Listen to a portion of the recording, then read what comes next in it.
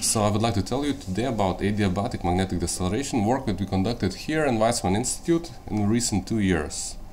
So I will start with presenting our group and uh, here you see the pictures of our students that were involved in the project. First of all, Itai, he's the first PhD student to join us, Sasha, Alon, Itamar, Liron, and you also see a picture of Julia. She's my wife and she's an electrical engineer that contributed a lot to the project.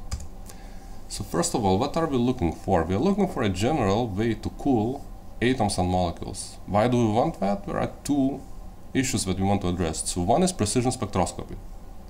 By having a cold matter, we can increase the resolution, the spectral resolution of many measurements. It's a very simple statement. Now, what has been already done, so the most prominent experiment, of course, probably is done by Jun Ye group, was deceleration of OH radical and conduct microwave spectroscopy to study time variations of fine structure constant.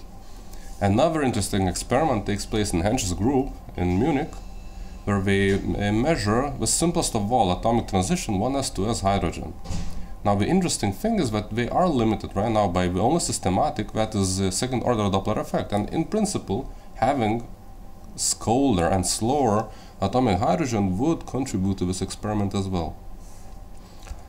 Now, the second application, which of course is also very interesting, especially for us, is chemistry. And that's a picture of a dream, of course. That's a theory paper published by the group of Roman Krems that shows you a cross-section of O2-O2 collisions at ultra-cold temperatures. These are microkelvin collisions. What is interesting from my point of view? You see collision cross-section as function of magnetic field. And what do we see? We see that cross-section can be manipulated by orders of magnitude. And what is here? Of course, resonances. Every time we pass a resonance, we have, for example, enhancement of few orders of magnitude in collision cross-section. Why it is interesting for me? Here you are. You are doing precision spectroscopy without even laser, by collisions. So that really excites me, and uh, that's one of the reasons we are looking after going cold. But here's the problem. How do we cool atoms or molecules? And there is a canonical method, of course, laser cooling. Works very well on uh, mainly alkali atoms, something that looks like hydrogen, two-level systems. Unfortunately, it cannot be applied to anything more complex than alkali or earth alkali. So they're really pretty much useless for cooling molecules. Okay, so if we don't have anything like that, we are thinking about very general methods of cooling. And the most general method to cool things is using a refrigerator.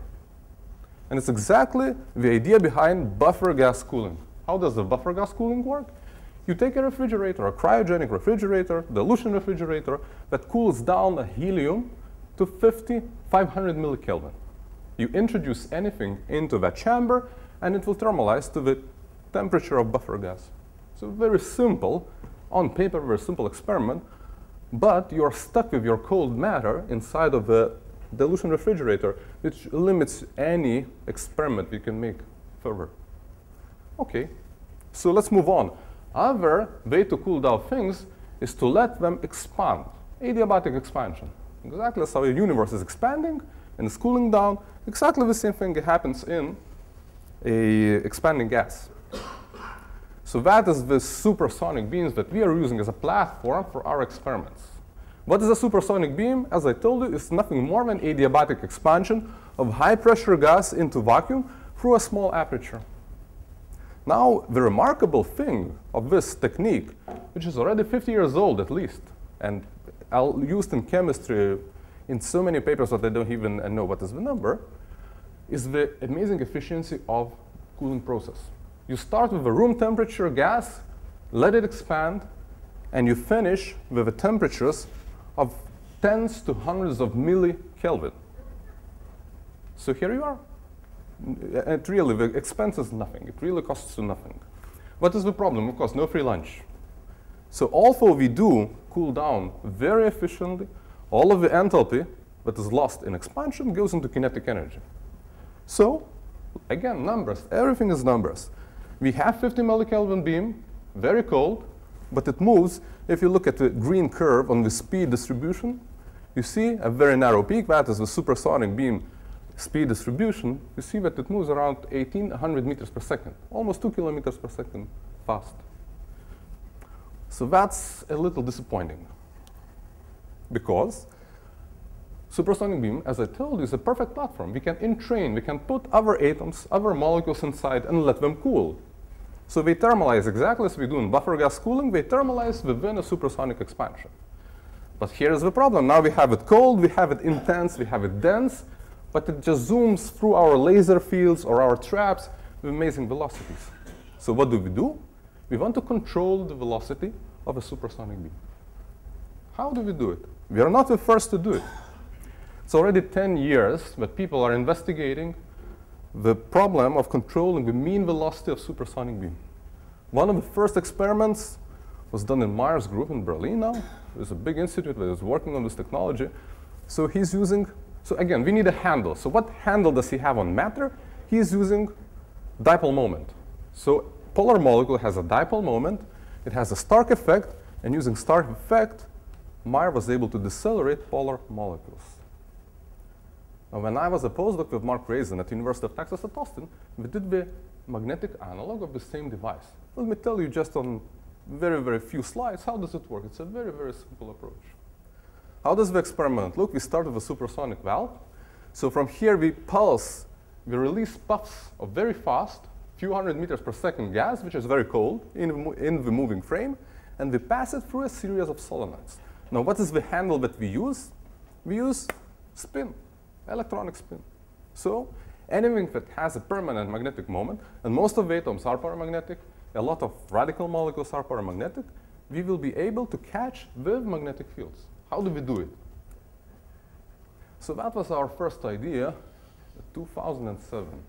And that really follows very closely the lines of Stark decelerator. And what do we start with? Uh, let's see. I start with laser pointer, but still works. Excellent. So a canonical Zeeman diagram. So energy of some, say, spin one half particle with a magnetic field.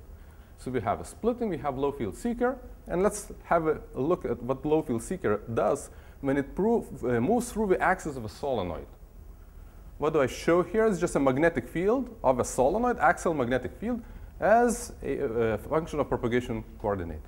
So what do we create? Solenoid, we pass current, we create a magnetic hill, just a speed bump for atom or molecule.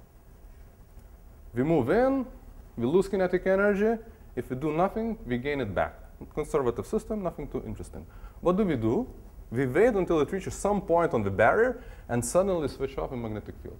What happens? We lose kinetic energy equal to the Zeeman shift at the place where we switch the magnetic field off. Sounds, of course, very nice, easy. What's the problem? Numbers, as usual. So if you compare the Zeeman shift at magnetic fields, and we reach magnetic fields of 5 Tesla, it's still very small comparing to the initial kinetic energy. What does it mean? It means that we need a lot of stages in order to decelerate. And we are using, we used in, at Austin 64 of these solenoided, cascaded solenoids in order to decelerate here, for example, paramagnetic beam of molecular oxygen. So what we show here is a time of flight picture. We, we sit on the detector and count oxygen molecules arriving at different times. So this curve is oxygen just a direct beam doing nothing, and then you see that we can choose different portions of that beam and decelerate to different velocities. So starting velocity was around 400 meters per second, and we arrived to 80 meters per second. It's all nice, but when I came back to Weizmann, we looked at this problem again, we were very disappointed. What's the disappointment here? Efficiencies. The efficiencies of this method of Stark decelerator are very low. And the reason is completely clear and trivial. So how do we decelerate? We give momentum kicks in one direction only. What is the problem? When we decelerate and the mean velocity becomes of the order of radial velocity, there is nothing to hold the beam in place. So it just escapes. How well it escapes? The starting density of a supersonic expansion, say at the first coil, easily 10 to, 10, 10 to 11 molecules per cc what people were able to trap 10 to the 6, 10 to the 7. So that's how bad is this loss. Why it's so bad? Now, if we want to do any collisional experiment, we can just altogether forget about it. The densities are way too low. So here's the question. How do we decelerate better? Funny enough, we knew the answer in 2007. We had no idea how to do it. The answer is very simple. Instead of giving kicks, forget about kicks. Make it simple. Create a trap, three-dimensional trap, that moves, say, at 500 meters per second, and then start decelerating, slowly, slowly, so you don't lose anything. Okay? So in principle, if the deceleration is slow enough, and you are always trapped, you will lose nothing at all. Simple. What's even better, there are canonical, so here what I show, this is a canonical magnetic trap. Every atomic physics experiment that includes cold atoms has this configuration. This is called anti-Helmholtz configuration of coils as a magnetic trap. It works super simple. So you have two coils, currents run in opposite, in opposite direction, exactly in the middle, fields from two solenoids cancel out, exactly to, z to zero. So here is the magnetic field, axial magnetic field of this uh, configuration of this anti-Helmholtz. Exactly the same happens actually in all directions. So it's a 3D trap for a low field seeker seeking an atom or a molecule. Excellent. We know how to create a trap. Now, the only question that is left is how to translate it, how to move it.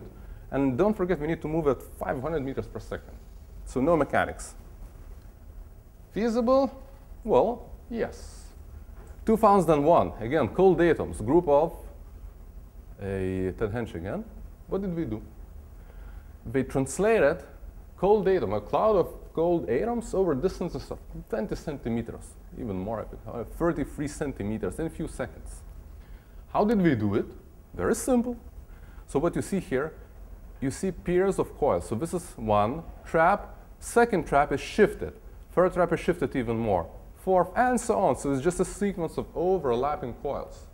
Now by timing the current in each one of these traps, you can move the center of the trap along that line. It's very simple. As usual, run the numbers. Okay, so what is the acceleration value that uh, Hänsch needs? Well, he doesn't need any acceleration because his atoms are already trapped. Zero mean velocity. So the accelerations are, to say the least, modest at less than one meter per second squared. We have a beam moving at 500 meters per second. We want to stop it in a meter. We arrive at accelerations of 100,000 meters per second squared. So 100,000 more deceleration is needed.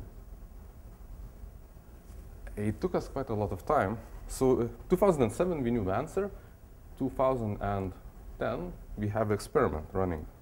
So how does it work? It's similar in approach is similar. Technically, of course very diff different. So here is the sort of one section of our decelerator. What I show here, these are a sequence of overlapping coils. And what do we do? We control current in each trap so that we can effectively move the trap position. So what you see, you see the blue portion, blue section, which is the trap, is moving from right to left. And now I'll move it back here. So by correct switching sequence, we can control the linear velocity of a moving magnetic trap look at the numbers. So again, high deceleration, what does that mean? That means that we need to create very large magnetic gradients. So we reach, for example, on barrier, a height more than the Tesla magnetic fields. So this picture was taken about a year ago, year and a half ago. At the time, we still didn't have a lab. We were somewhere in the corner in the Perelman building. And again, we came back to square one, developing everything from zero. So we started developing new electronics needed to drive these uh, quadrupole traps. Uh, this is the first actually setup that we have. And just to show you, we have a really neat way to know what we are making. So we have a very beautiful way to measure a magnetic field as a function of position and time using a Faraday effect. I won't go into details, but I will show you the result of that measurement. So here what you will see, you will see the real measurement of our real traps moving in time and place. So what you will see, mm, what you will see actually, you will see here, first of all, we will see that we switch on a single trap. So you see that these two barriers grow up. So that's one trap. Wow. Easy. Oh, wow. Well, I, Ruben, if I am too close to you, tell me. Excellent. So here we are. So first of all, what you will see, you will see that these barriers grow. And then you will see that the trap position starts moving. So this is when we start overlapping between different coils. And the whole move, it takes around 20 microseconds, and it moves over 15 millimeters. So it's just a free of our overlapping uh, coils. So where it is here.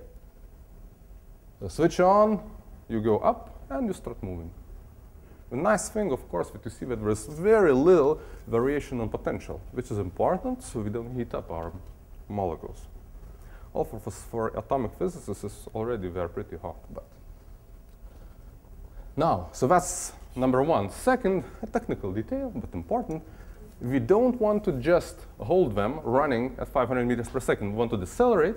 So that's number two. So what we need to do, we need to be able to control the length of the overlapping current or uh, magnetic field pulses. And this is what we do. We are changing the time constant of these uh, current pulses, which are pretty high. So the peak is around 500 amps, amperes. This is what enables that to happen. So everything is home built. We develop our electronics in-house.